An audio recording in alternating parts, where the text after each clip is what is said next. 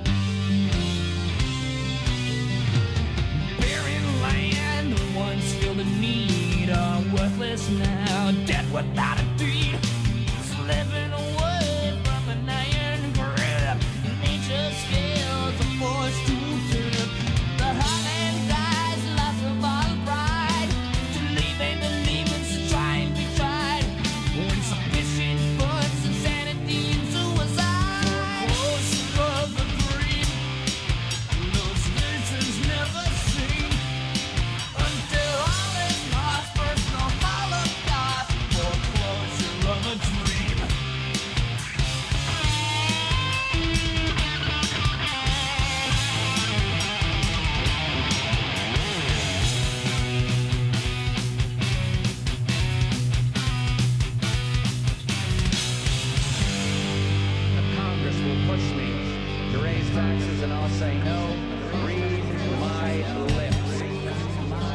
Read my lips. Now you some. This is no holes, no one pushed out. Receive a reprieve and be a pioneer.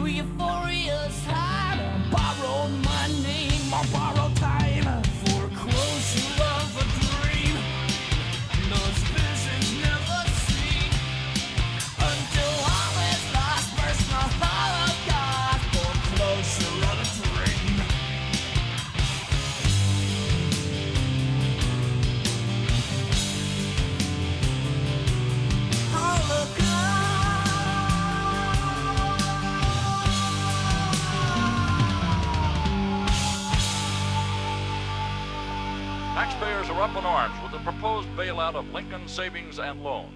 The failure of the institution resulted in a $2.6 billion loss, all left in the laps of the American people.